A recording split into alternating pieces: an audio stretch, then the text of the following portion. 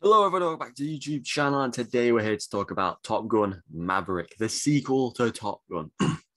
and this drops next week. I've been wanting to get around to this forever to react to the trailer. I've watched the trailer a million times. I managed to get around to watching Top Gun for the first time this year as well. A fantastic, well put together 80s film. Tom Cruise truly, it's truly his best role he's ever done. But I'm, I'm hoping, and what I've heard from the reviews, this is better. You know, the red carpet was last night. Um, so you know, spoilers going to be out there, information's out there. Reviews, it got 100 percent like first week, and it went down to like 96. I don't know where it's at now, but still incredible. It's said to be his greatest film of all time, even better than the Mission Impossible films, um, even better than the first Top Gun. So spoilers, of course, we're going to go into spoiler territory as I discussed little bits from the first film. As I was saying, I give context to the second film. Subscribe and like. Let's go. So Top Gun Maverick is obviously the sequel, as I said, set what 40 years, 30, 40 years later after the first film, where Maverick was a reckless pilot working alongside the likes of Iceman and Goose.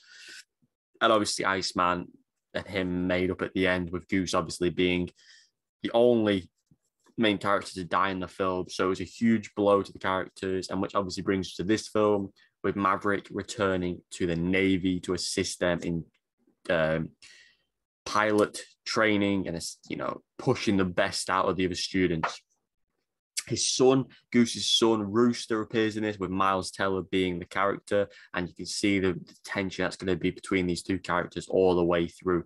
Because obviously, Miles Teller's character Rooster did appear in the first film as obviously a young kid that obviously you know, looked up to his dad and obviously wanted to do this as a career. He's here now. He's being mentored and shadowed by uh, Maverick, teaching him the ways of being a good pilot. You can see the comical aspects, you can see the serious and the emotion elements that are going to feature in this film. Jennifer Connelly obviously comes in as obviously the replacement, the love interest of I can't remember her name, the a woman from the first film. You know, she mentioned and commented on this. She said obviously she's a lot bigger than she used to be visually shouldn't work for the screen. They were the comments of the woman from the first film, and that's why obviously Jennifer Connelly of Labyrinth is in this one. Um, Tom Skerritt will appear and obviously reprise his role in a background role with Iceman set to appear as Val Kilmer. Uh, so incredible to see some of these characters returning to the roles that they played in the 80s film. Kilmer looking very good, I think, to this day. So you could recognize him when it comes on screen. The same with Skerritt. You know, Skerritt's like pushing his 80s. So you should still be able to recognize certain characters when they come on screen. There's a picture and a poster of Kilmer. Um, I don't know. I hope that's not his only appearance. I hope he actually appears in physical form. Um, and we get that interaction between Maverick and Iceman. So that'd be really cool to see Kilmer return to the screen after a long period of time. Uh, you get to see characters like Hangman and you know the, the, the girl who had the arrogance of saying we're the best at what we do, who could possibly come in to teach us, and then Maverick just embarrasses them immediately. So the jet scenes look incredible. Um, you know, I thought they were amazing in the 80s, but they look even more elevated and flush and crisp, and just the camera work is beautiful. Um, yeah, I think it's just going to be such a brilliant story. You don't really know what the story is. A few people obviously die in the trailer. Um, they're obviously going on a very dangerous mission that even one of the characters says that Maverick's never been on. So it elevates what he did in the first one, and now he's been put in a situation where he has to, you know, help and protect the people he's working with now be a good influence for Rooster, do what he couldn't do for Goose and do it for Rooster. Uh, and obviously, because Iceman suggested him, he has to live up to the name and how well he was back in the day. So, like I said, it's going to be a very comical film, very hard hitting film. Going to be a lot of emotion in this film, definitely, as I said, between Rooster and Maverick. Um, I think it'd be good to see Iceman return.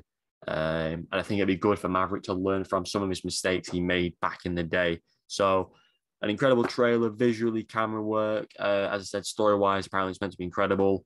Um, and a brilliant cast of Jon Hamm, uh, Miles Teller, and Jennifer Connelly joining the group of already fantastic people. And yeah, I think this film's going to be incredible. I can't wait to watch it this week. Obviously, with Kenobi and Stranger Things also dropping this week, and Life is Strange finale comic. So it's going to be a brilliant week for con- uh, content and media. So stay tuned on the channel, of course and make sure you check out the first Top Gun because you need the context of why Maverick's back, the relationship between Iceman and the relationship between Rooster. Otherwise, you won't understand a single thing that's going on and you'll just be watching people get killed and fly around in jets. If that's something you're interested in, then yeah, do whatever you want. But yeah, stay tuned for the review coming this week, maybe Saturday. But of course, we will have to wait and see what happens. So stay tuned for that. And of course, subscribe and like. Goodbye.